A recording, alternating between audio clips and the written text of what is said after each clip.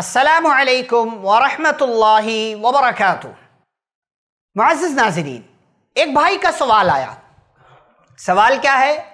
कि क्या पैसे बार बार गिनने से बरकत ख़त्म हो जाती है?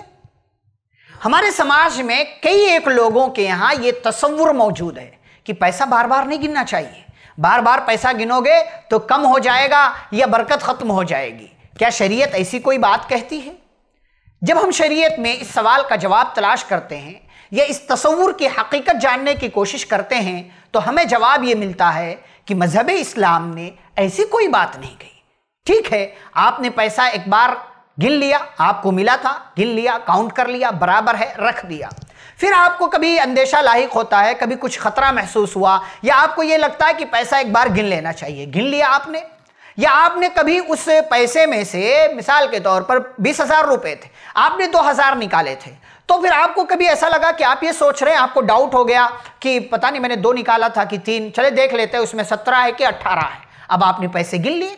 बार बार आप पैसे गिने किसी भी वजह से, या वजह ना भी हो, तब भी ऐसा कोई तस्वुर नहीं है। या शरीयत इस्लामिया ने ऐसी कोई बात नहीं कही है कि बार बार पैसे गिनने से जो है बरकत ख़त्म हो जाती है। बरकत का ताल्लुक बार बार गिनने से नहीं है। हाँ उसका सही इस्तेमाल करेंगे, बरकत आएगी, माल में बखीली करेंगे, कंजूसी करेंगे, गलत जगहों पर लगाएँगे, या वो पैसा हराम तरीके से आया हुआ होगा तो उससे बरकत ख़त्म हो जाएगी। और बरकत ख़त्म हो जाने का ये मतलब नहीं है कि उसके अंदर कमी हो जाएगी कि 20 था तो 19 हो जाएगा 19 था तो 18 हो जाएगा। नहीं, बरकत ख़त्म होने का ये मतलब है कि पैसे कहाँ खर्च हो जाएँगे, किस तरीके से खर्च हो जाएँगे, आपको इसका एहसास भी नहीं होगा। तो खुलासा कलाम यह है कि पैसे बार बार गिनने से बरकत ख़त्म नहीं होती है, ना ही उसमें कमी आती है। ऐसा कोई तस्वुर मज़हब इस्लाम के यहाँ नहीं है और हमें भी यही चीज़ समझना चाहिए।